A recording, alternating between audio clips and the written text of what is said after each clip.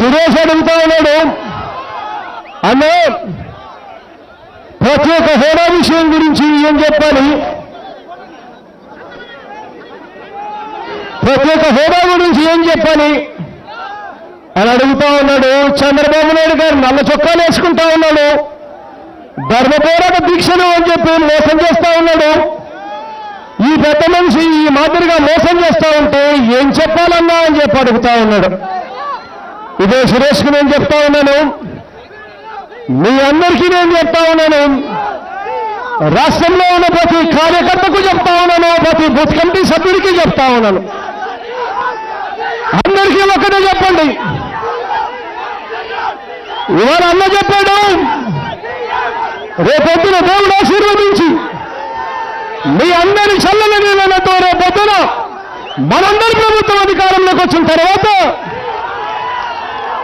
ఇరవై ఐదుకి ఇరవై ఐదు ఎంపీ స్థానాలు మొత్తంగా మన పార్టీకి ఓటు వేసేట్టుగా గట్టిగా ప్రజలకు చెప్పమని చెప్పి చెప్తా ఉన్నాను. ప్రజలకు ఈ మాట చెప్పేటప్పుడు గట్టిగా అడగండి గట్టిగా చెప్పండి.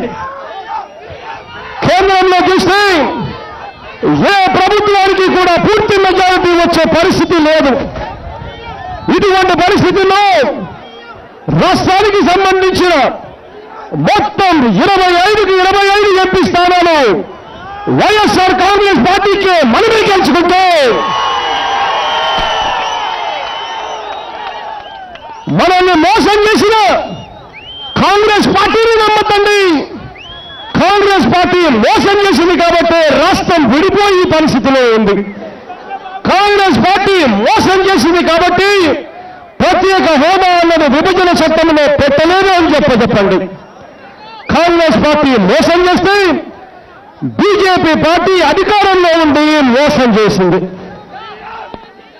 ఎన్నికల ముందు మేనిఫెస్టోలో పెట్టారు బీజేపీ వాళ్ళు. పార్లమెంటులో మాటిచ్చారు బీజేపీ వాళ్ళు. నరేంద్ర మోడీ ప్రధానమంత్రి అయ్యాడు. అయిన తర్వాత తిరుపతిలో మాటిచ్చాడు. తిరుపతి వచ్చిన మాటకు కూడా దిక్కు దివాణా లేకుండా వాళ్ళు మోసం చేశారు. చంద్రబాబు నాయుడు గారు నమ్మద్దండి ప్రత్యేక హోదా విషయంలో చంద్రబాబు నాయుడు గారు పూటకో మాట రోజుకో మాట మార్చి ఆంధ్ర రాష్ట్ర హక్కులను రోడ్డు మీదకి తీసుకొచ్చాడు పెద్ద మనిషి చంద్రబాబు నాయుడు గారు. ప్రజలకు మీరు చెప్పండి.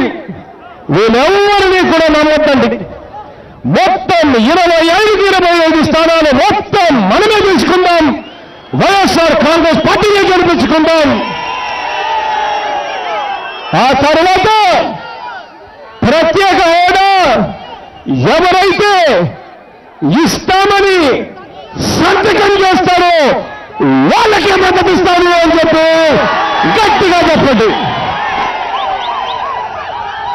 ఇక ఎవరో ఇస్తారని ఎవరో ఏదో చెబితే నమ్మే పరిస్థితి లేదు. నమ్మి నమ్మి అలసిపోయాం. ఇక ఎవరో ఏదో చేస్తారని ఎవరో ఏదో చెబుతారని చెబితే నమ్మే పరిస్థితి కాదు. మన ఎంపీలు మన దగ్గరే పెట్టుకుందాం. ఆ తర్వాత ఎవరైతే ఇస్తున్నట్టుగా సంతకం పెడతారో వాళ్ళకి మద్దతు జరుగుతామని చెప్పి గట్టిగా చెప్పండి.